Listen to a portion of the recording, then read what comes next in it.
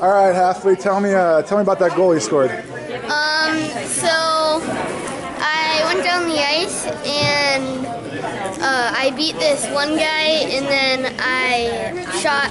I went wide and I tried hitting it in, and I hit it right through the five. Yeah, that was a nice shot. And then, uh, look, you were coming in fast, and I saw you slide into the boards. Right? Did that hurt a little yeah, bit? Um, my wrist still hurts. Your wrist still hurts. I was worried about you. I, I thought you were kind of holding your shoulder, but it was your wrist, huh?